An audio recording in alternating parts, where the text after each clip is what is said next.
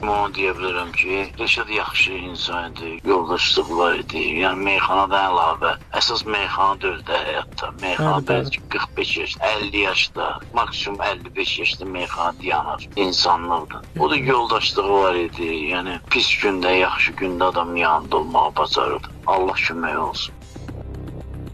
Normal bir insandır. Səbirli bir insandır.